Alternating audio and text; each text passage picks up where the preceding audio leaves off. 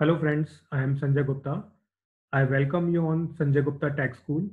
So in this video, I am going to uh, give you a brief introduction about Salesforce Classic. So friends, whenever you want to start Salesforce Classic, first of all, you need to log in. So in my previous video, I demonstrated you how you can create your account on Salesforce. After creating that account, you can use this URL login.salesforce.com so that you can log in into your Salesforce org that you have created. Then you need to type username and password and click on login. So it will login you in Salesforce org. So Salesforce has two variants like Salesforce Classic and Salesforce Lightning. So by default, it is opening Salesforce Lightning. So if you want to switch into Salesforce Classic, you can click on this icon that is available at top right corner and you can click on switch to Salesforce Classic. So Salesforce Classic was the earlier version and the latest version is Salesforce Lightning. So before starting Lightning, you need to understand how Salesforce Classic works. So for that purpose, I'm going to give you a brief introduction about this. So at top, you can see various links are available.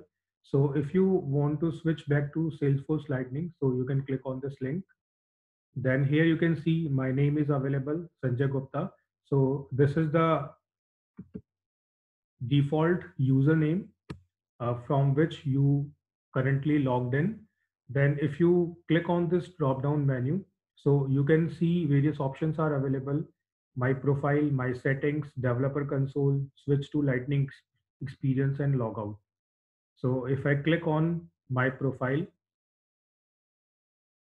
here you can see I can set up my picture. I can set various other things from here by going, uh, clicking on to overview.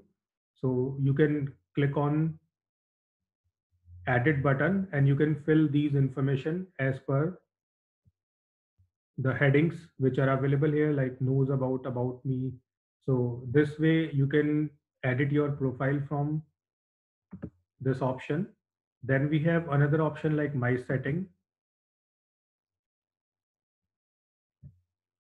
so it is uh, showing one option like critical updates so critical updates are pending for your organization these updates may affect your existing customization. So if you want to review them, you can click on review. If you want to ignore, you can ignore. So right now I'm clicking on ignore. So here you can see some options are available like personal. So in this, you can go uh, with these options like personal information, change my password, language and all. So these options you can choose and manage as per your requirement, then display and layout, then email settings, then chatter settings, calendar and reminders. So this way various options are available. So you can choose these options as per your requirement and you can customize your org. So this is all about my setting. Then if you want to do any coding, uh, like you want to use Apex or you want to write code for Visual Force, then you can click on this developer console. So it will open a new window where you will be having your developer console and you can type your own code.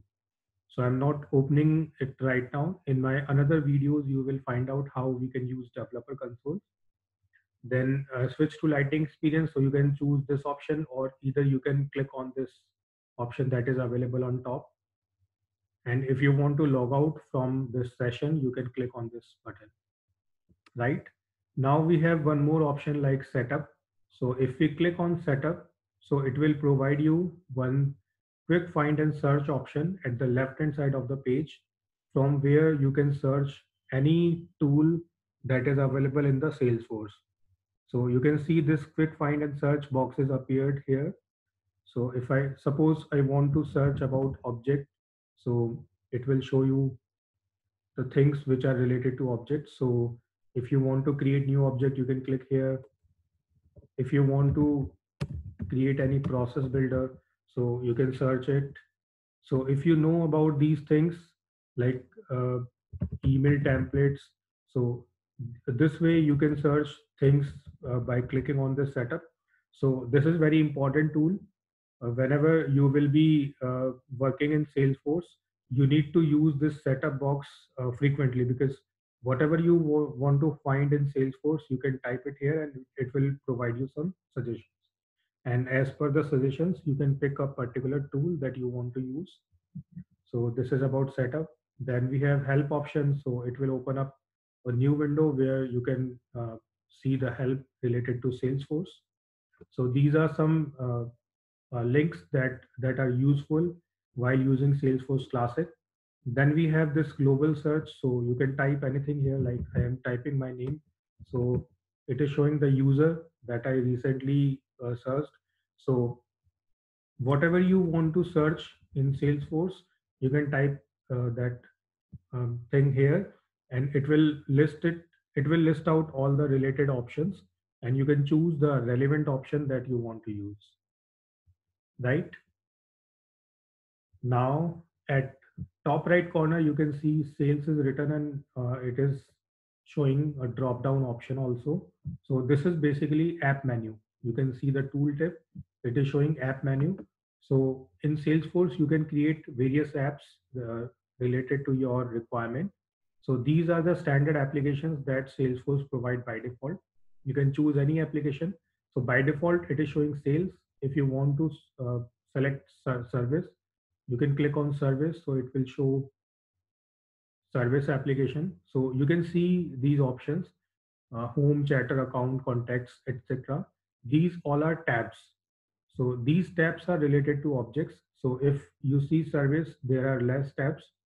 If I move to sales again, you will see more number of tabs. So you can do this tab setting as per your requirement.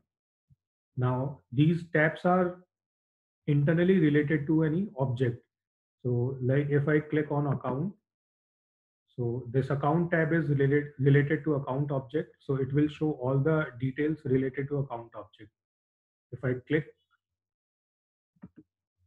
on this view option, it will show these options. So I, if I want to show all accounts, I can select from here and click on go. It will show all available accounts. So these accounts are basically records. So records are basically information that we fill in Salesforce. So whenever you create your account in Salesforce, these records are by default available and you can create your own. Like if you want to create new record for account, so you can click on new and you can fill the information and click on save. Let's see what is available in this existing account record. This way you can see it is showing all the information related to that particular account or account record. And here you can see account owner, account name, parent account, and these uh, these options are basically known as fields. So rating, phone, fax, website, ticker symbol, owner, ownership, employees, these all are fields. And inside fields, you can fill up the related data. Right? So you need to select a particular app, then inside app, you will have uh, related tabs. Tabs are related to various objects. Like each tab will be uh, indicating a particular object. Then inside object, you will find out various records and records are collection of fields where you can fill the data. So this is small introduction about Salesforce Classic. I hope you have understood the basic things, how you can use uh, this Salesforce Classic UI for implementation purpose. In my another video, I will be demonstrating you how you can create these applications, tabs, objects, records, fields, etc. So keep watching these videos. These are very much uh, important or useful if you are interested to learn Salesforce. Thank you for watching this video.